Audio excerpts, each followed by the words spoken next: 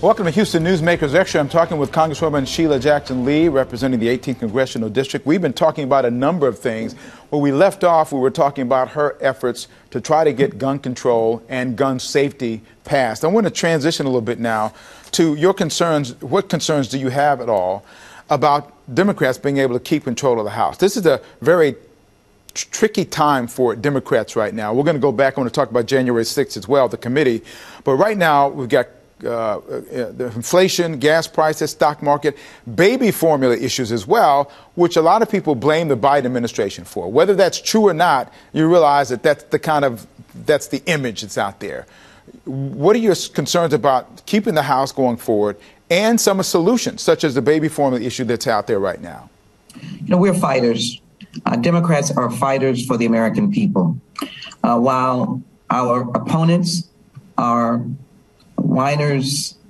Uh, they are persons who uh, wish to uh, mischaracterize uh, what is happening in America uh, without solutions. And so I would simply say we're fighters with solutions in hand. It was a supply chain uh, that really impacted this issue of the baby formula. And of course, one of the plants shut down because it was not meeting the federal criteria for safety for our babies. Uh, we are beginning manufacturing. We're getting, beginning through the Defense Production Act to deliver. I spoke to the White House yesterday uh, for them to assure me that we would know in Houston when those uh, shipments were coming. I'm pushing for them to come to Houston uh, in the next couple of days and weeks. That's one answer. The next is uh, we are fighting the question of food insecurity or the lack of food with the lower food uh, and fuel costs. And we're working directly with the bill that I supported, spoke about it on the floor of the House to contain some of the fuel costs and not really impacting the industry that is here. But the costs have to be contained and also to work on making sure that farmers can get products uh, quickly to the market. I'm also going to suggest uh, to the administration that with the U.S. Department of Agriculture, we begin to help fund community gardens in a more massive way than we've ever done. And so I think our focus is the people. And we're going to continue to drive out uh, legislation that's going to change uh, the uh, focus of America and bring costs down. There's no doubt uh, that uh, we face uh, some challenges because it has been difficult, particularly with the issue of interest rates, which I absolutely oppose the Federal Reserve raising interest rates because I want to see individuals being able to buy homes, buy cars, uh, and working families. And so we're going to look at that. I'm certainly going to express uh, my concern about that being a tool uh, to use to bring down inflation.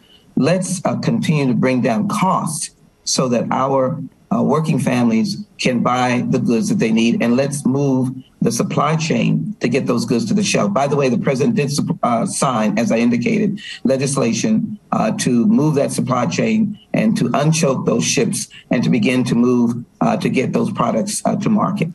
Well, clearly, the narrative is going to be out there, um, and the, the, challenge is going to be to change the narrative in the direction you want it to go. One of the narratives that's really broad has been the narrative coming out of the January 6th committee. There's a lot of revelations coming out of that that some of us had not known before.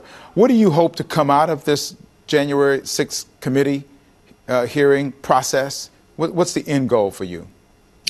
I think Americans should realize uh, that we have been comfortable for many, many years we have this concept called democracy, and we just uh, thought um, that it will operate on its own and it will be part of our lives forever.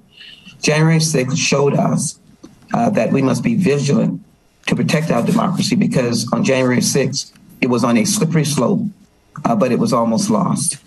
What I learned is that the Vice President of the United States, because of the actions of the President of the United States, was 40 feet away from being uh, attacked maliciously and possibly losing his life. The idea of hang Vice President Pence was not just a slogan, it was a potential reality. And the vice president, who was doing his duty, recognized that he had no authority constitutionally on the 12th Amendment or any other, as opposed to the ridiculous analysis of Professor Eastman who obviously knew he was wrong by asking for a pardon, working for Donald Trump, he knew he, he did not have that authority. He is to be commanded, uh, commended for his courage. But the President of the United States, through these hearings up to the third hearing, of which I was there for the third hearing, and listening uh, to uh, the judge declare Donald Trump and his allies as clear and present danger to the United States of America. So, so what I hope the hearings will do is to raise the attention of Americans. I want them to turn to their Constitution to know how precious it is and how precious democracy is, and that Democrats cherish democracy. Al Gore spoke, um, I believe, uh, in 2000 and presided in 2000 when he lost and took no action, even though uh, some of us objected, took no action to overturn uh, the elections with false electors. He made it clear that he supported the peaceful transfer of government. Now, objections have been heard over the years, but the vice president recognizes that the arguments can be made and that he proceeds to do his job. It is shameful that Donald Trump engaged what I believe is criminal behavior uh, that would cause uh, the uh, violent attack on the Capitol. And as you saw the powerful statement of Officer Edwards, was slipping on the blood of officers and herself, was knocked unconscious.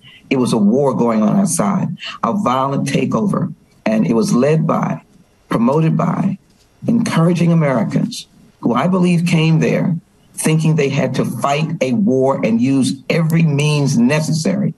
And whether it meant the attack on the vice president of the United States, second in command, they were going to do that. How do you not hold a man responsible for that violence, for that potential takeover.